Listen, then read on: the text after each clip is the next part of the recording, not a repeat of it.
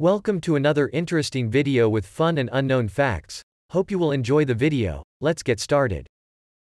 Please do subscribe for more videos and follow us on Instagram and Facebook. Battlegrounds Mobile India is now available on early access and over 5 million downloads were achieved within a day of it going live.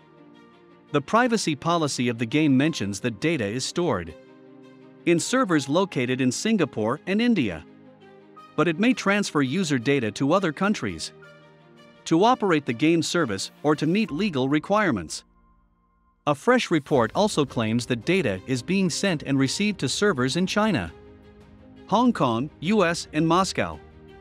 In a bid to make a comeback in the Indian market, the game makers had promised to cut all ties with China last year.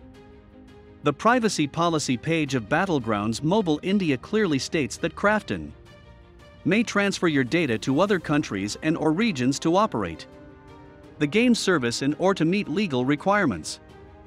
The legal basis for such processing is compliance with a legal obligation to which we are subject to or our legitimate interests, such as exercise or defense of legal claims. The company says that while personal information will be stored, and processed on servers located in India and Singapore. In the event that it has to transfer it to another country or region, Krafton will take steps to ensure that your information receives the same level of protection as if it remained in India. As per a report by IGN India, the data was sent and received by the Battlegrounds Mobile India APK to servers in several other regions, including China. The data was reportedly sent to China Mobile Communications servers in Beijing. The Tencent run Proxima Beta in Hong Kong, as well as Microsoft Azure servers located in the Mumbai, Moscow, and the US. Battlegrounds Mobile India reportedly also notifies a Tencent server in Beijing when booting up the game.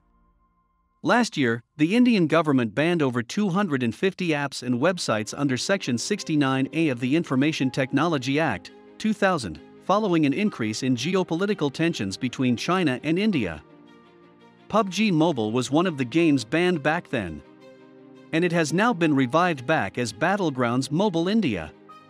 Krafton had promised to cut ties with China based Tencent and invest over $100 million, roughly 741 rupees crores, in the country. Even Confederation of All India Traders, CAIT, has written a letter to Union IT and Communication Minister Ravi Shankar Prasad to demand a ban of Battlegrounds Mobile India in the country. As per the letter seen by Gadgets 360, CAIT reiterates that data is being sent to countries outside India where the Indian law is not applicable.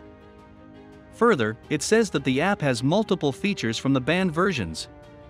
And even the app package for this game on Play Store has PUBG.imobile for pre-registration.